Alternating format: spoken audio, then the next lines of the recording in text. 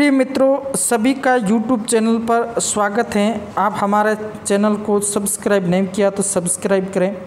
आज अपन बात करेंगे जो प्राध्यापक संस्कृत विभाग में आज पेपर हुआ था, उसके सामान्य ज्ञान में इतिहास के प्रश्नों के बारे में चर्चा करेंगे। प्रश्न संख्या सिक्सटी वन, इसमें पंद्रह प्रश्न है, वह इतिहास से सिक्सटी वन है। सूची एक को सूची दो से सुमिलित कीजिए, निम्नलिखित कूट से सही उत्तर ढूंढिए। तो इसमें एक तरफ़ लेखक है, दूसरी तरफ़ ग्रंथ है। तो पहला इसमें दिया हुआ है, भारवी। भारवी का कीर्ता जुनियम एक का चार है तो इसका सही उत्तर है शुद्र का मत्स्य कटिकम विशाख दत्त का देवी चंद्र गुप्तम, विष्णु तंत्र जो विष्णु शर्मा का पंचतंत्र है। तो इसका सही उत्तर क्या है? इसका सही उत्तर वह एक नंबर है। वन। अब देखते हैं इसके बाद में प्रश्न संख्या सिक्सटी टू नालंदा विश्वविद्यालय के संदर्भ में धर्म यज्ञ क्या था? एक, धार्मिक स्थल, दो, अध्यापक आवास, तीन, लड़कियों का छात्रावास, चार, पुस्तकालय। तो क्या था? लाइब्रेरी था, पुस्तकालय, चार नंबर सही है। प्रश्न संख्या 63 निम्नांकित में से कौन सा युग्म सही सुमिलित नहीं है। एक वुड स्पेस अट्ठारह बिल्कुल सही है। हारगेट समिति अट्ठारह सही है। हंटर कमीशन अट्ठारह सौ सही है।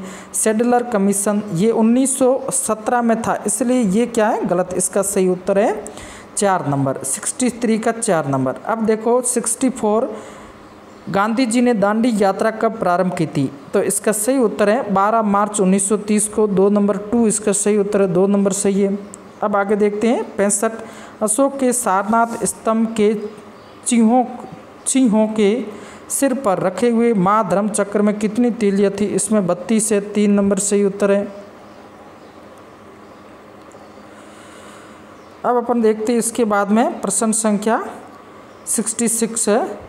1843 में सुभाष चंद्र बोस द्वारा निर्मित स्वतंत्र भारत की अस्थायी सरकार को निम्नांकित में से किन किन देशों ने मान्यता प्रदान तो इसका सही उत्तर है, इस ये दिए हुए सभी देश थे, जापान, आयरलैंड, कोरिया और इटली। इसका सही उत्तर है तीन नंबर।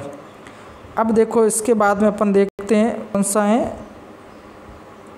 Sixty seven. निम्नांकित में से किसने पहली बार स्वराज्य शब्द का प्रयोग किया और हिंदी भाषा को भारत की राष्ट्रभाषा के रूप में स्वीकार किया? इसका सही उत्तर क्या है? इसका सही उत्तर है दयानंद सरस्वती, दो नंबर। अब देखो, स्थान जहाँ आउआ ठाकुर कुशाल सिंह ने अपना अंतिम समय व्यतीत किया था। इसका सही उत्तर है तीन नंबर, कोठारिया। अठारह सौ सत्तावन के विद्रोह के प्रति मेवाड़ के महाराणा की क्या नीति थी?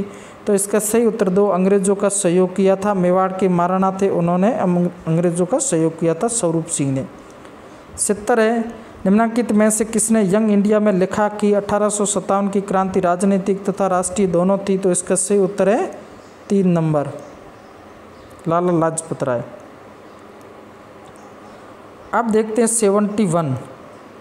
सेवेंटी वन क्या है? सेवेंटी वन है प्रश्न संख्या सेवेंटी वन, बिजोलिया आंदोलन के दौरान 1922 के समझौते के प्रति बिजोलिया जागीरदार का क्या रवैया था?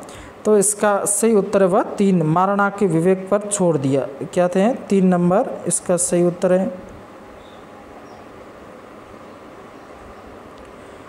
इसके बाद में निम्नलिखित को कालक्रम के अनुसार लगाइए। शिवाजी के संदर्भ में और नीचे दिए गए कूटों में से सही उत्तर का चयन सूरत लूट चौंसठ में हुई थी, अफजल खां उनसाठ में, सोलह में पुरंदल सोलह में शाइस्ता खां सोलह में।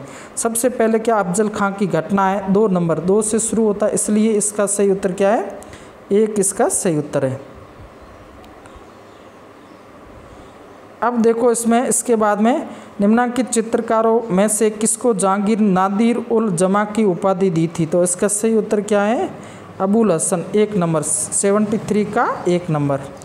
इसके बाद में सेवेंटी फोर महाराणा प्रताप के शांतिपूर्ण अधिकार, अधीनता स्वीकार कराने के लिए अकबर ने अंतिम शिष्टमंडल किसके नेतृत्व में भेजा था? तो इसका जम्मा भट्टो तो मतलब टोडरमल, चार नंबर सही उत्तर है।